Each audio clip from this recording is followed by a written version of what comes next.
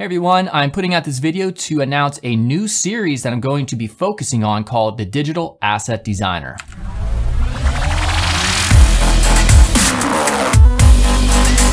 All right, so what does it mean to be a digital asset designer?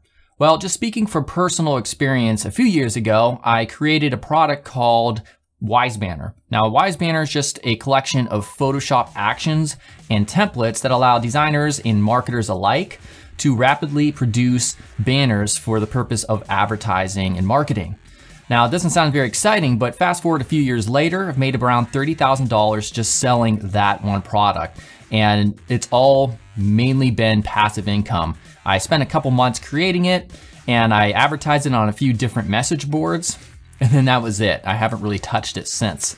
Uh, so that's what it means to be a digital asset designer. So a digital asset could be considered any number of things. It could be a Photoshop mockup template. It could be themes for content management systems like WordPress or Joomla, etc. It could be icons. It could be Photoshop actions. It could be a lot of different things. So that's what this series is about. I'm going to show you how to create these different types of assets and also how to go about selling them so you can start boosting your income.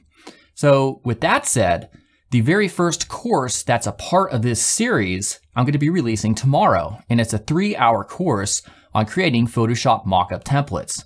And throughout this course, I'm going to be showing you a bunch of different projects and different types of mockup templates, such as a t-shirt mockup, a corporate identity mockup template, uh, a tattoo mockup, a mobile, mobile mockup where people can present their mockup app designs, and more. And aside from that, I'm also going to show you, again, how to sell them.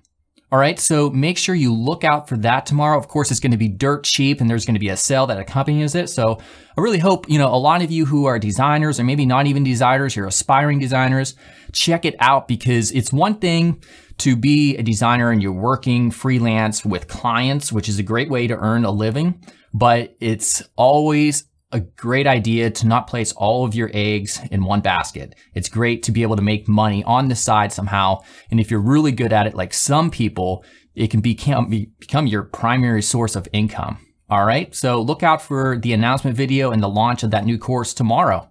All right. I'll see you later.